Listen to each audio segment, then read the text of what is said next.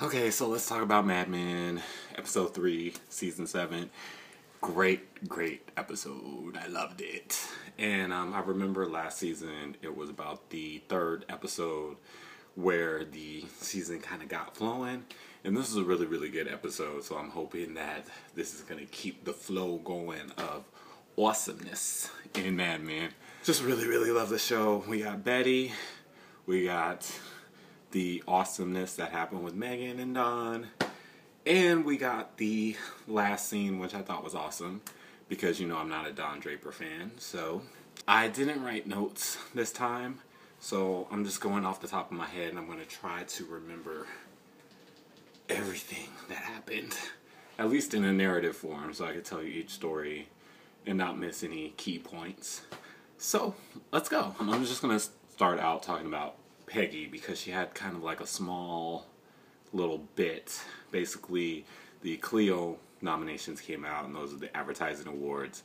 And she was just a little butthurt because she didn't get nominated for the Rosemary's Baby thing from last season because she felt that was her best work and she deserved it and all this stuff. What's the little Jewish boy's name? I forget his name. But anyway, he was nominated for Playtex which obviously we know I think was Peggy's first account. So, you know, just a little butt hurt there. So yeah, I mean, she was a little bit mad at that, and so, you know, she's very unhappy now at the agency, um, not, you know, feeling fulfilled or whatever. So, I sense that's going to be a big deal come the end of this season or the end of next season because it's like what season seven part one and then season seven part two however they're gonna do it. So that's it. When the first scene with betty on this episode i was like betty! Because you guys know that i like me some betty draper.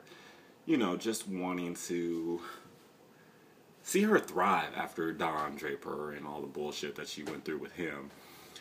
However we find betty this season at this very sort of insecure, kind of bitchy, kind of unhappy mode. And, you know, on the season six finale recap that I did, I went on and on about how she and Henry are so happy and she's at a happy place and all that stuff. Obviously, it's not true.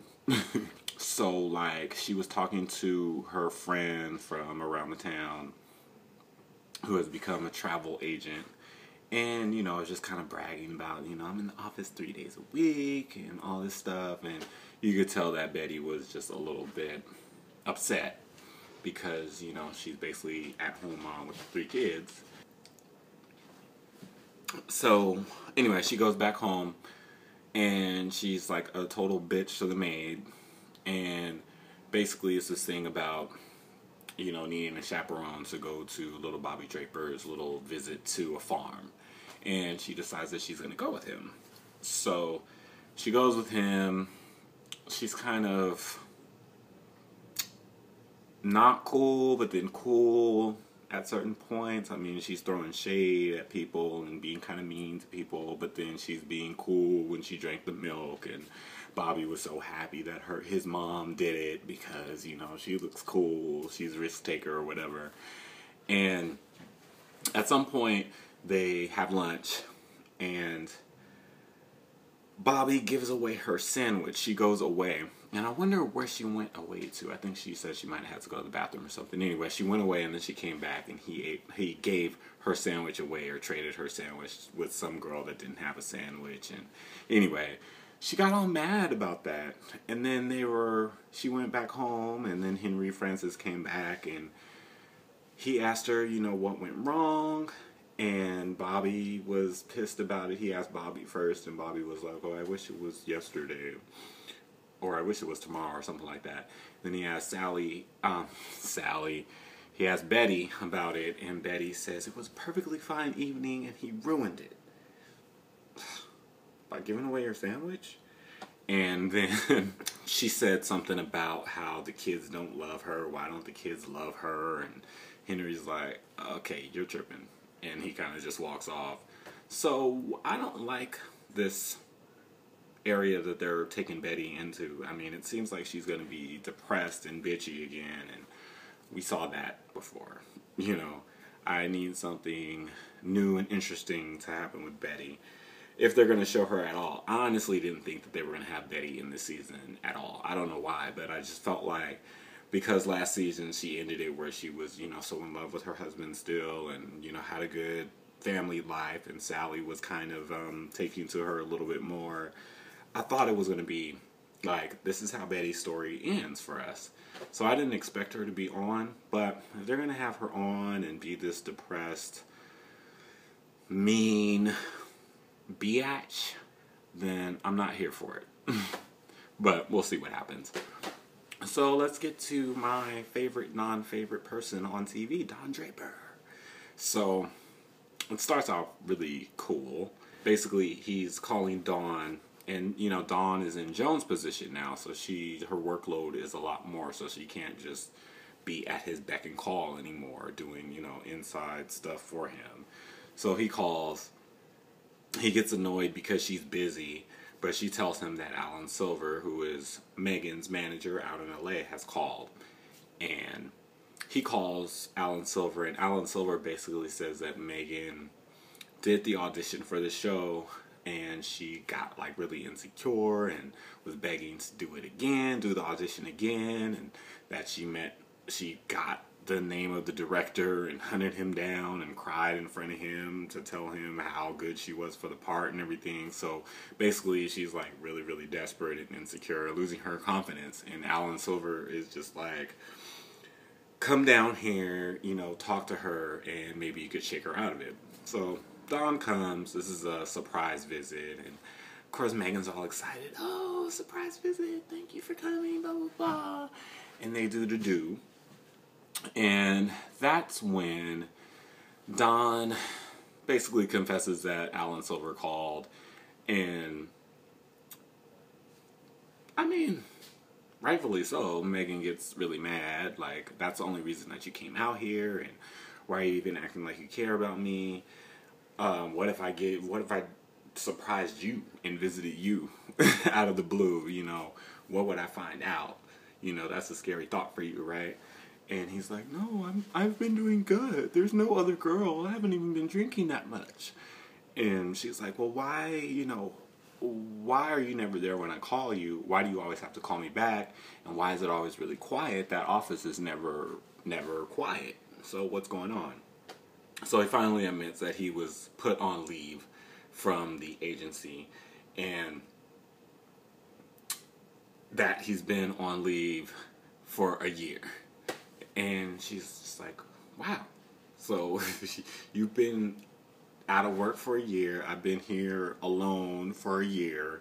You didn't tell me about it. You probably weren't going to tell me about it. So she kind of ends it. And I was like, yeah I even tweeted that. I was like, "Yay, Megan!" Because she was just kind of like, you know, I'm not gonna walk out of my own house, so you need to go. And you know, this is the end for us, basically. Uh, later on, he does call her and tries to apologize, and you know, tries to sweet talk, and basically he said, "Oh, I shouldn't give that away." Okay, okay, backtrack, backtrack. So he has a meeting with the same guy that he had the meeting with last week that I didn't really cover on the recap. They offer him a position, and he goes to Roger, who he hasn't talked to for a year, and he shows him the offer. And Roger says, you know, that's a good rate. It makes it seem like you're not getting demoted, like it's not a demotion. And he's like, so what do you think I should do? Um, there's still like a little bit of I wouldn't say heat, but there's a little volatility between them. Anyway, Roger is just like, well, if you want to come back, come back. And he's like, oh, okay. So he calls Megan. He tells Megan that, oh, I fixed it. You know, I got the, I got my job back. And she's like, well, fixing it would have been you coming back out, you getting a job out here. And, you know, she's just not falling for the BS and he says I love you and she's just like good night. So I think Megan is over it and I'm so happy because after I mean he just treats her like crap and I think she tried to be a different kind of woman for him to try to get him out of his ways and his power struggle with women and you know just the, he's never treated women really right.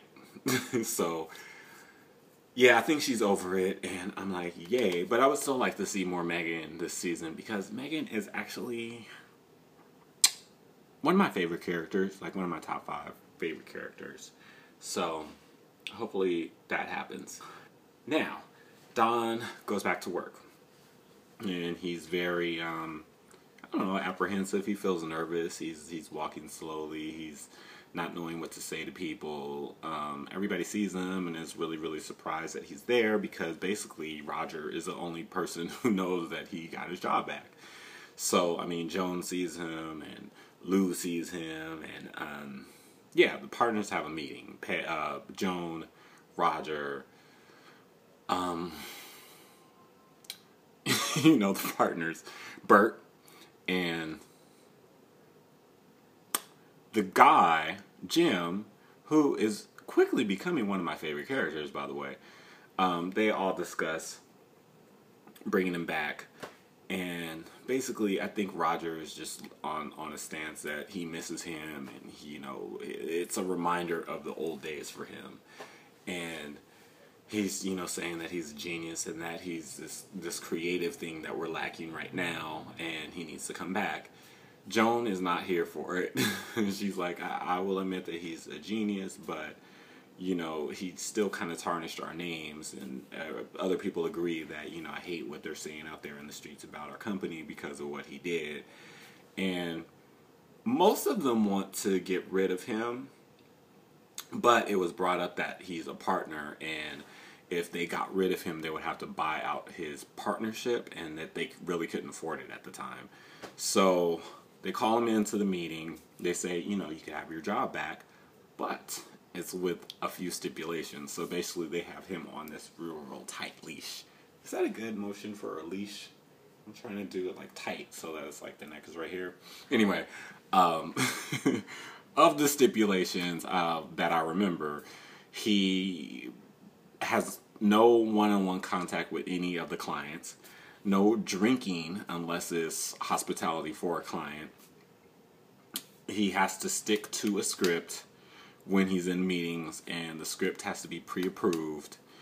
And there was one other thing that was just kind of like, ooh. but basically, yeah, he can't do anything. He's like locked in this prison. And he took it. I was really surprised that he took it. So you know, maybe this is a humbling of Don Draper season.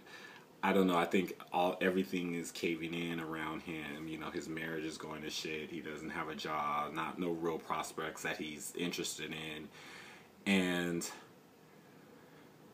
you know, he was desperate. He had to take it, humble himself. So I was really, really surprised at that. But I was really surprised that I was really happy at how they discussed that. And I think that that meeting without Don was one of the better scenes of the season so far because I was really like, ooh, ooh, ooh. Um, I think that's all that happened pretty much. You know, there was, yeah, I think that's all that happened. I don't think that I missed much. But um, if I did, leave it in the comments and all that stuff. So did you guys enjoy this episode as much as I do? I think that this is going to be a really, really good season based on this episode because there's a lot of things that are just to unveil and you know, I'm sure that Don is to like reach a boiling point and just spaz out. You know, I don't know. Who knows what's to happen, but there's a lot of good stuff I think to anticipate. So, yeah, like this video, comment, please share the video, and subscribe to my channel. And, you know, follow me on Twitter, and Instagram, and blog. And um, I will talk to you guys next week. All right. Peace.